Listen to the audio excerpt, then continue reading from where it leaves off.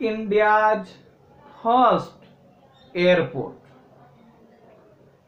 भारत का जो पहला एयरपोर्ट है, उसके नाम जूहू एरोड्रोम है।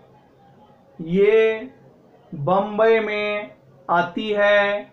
इससे स्थापना 1928 ईस्वी में हुआ था और इसके बाद धीरे धीरे अभी हज़ारों में एयरपोर्ट है। Please like and subscribe this channel. Thanks for watching this video.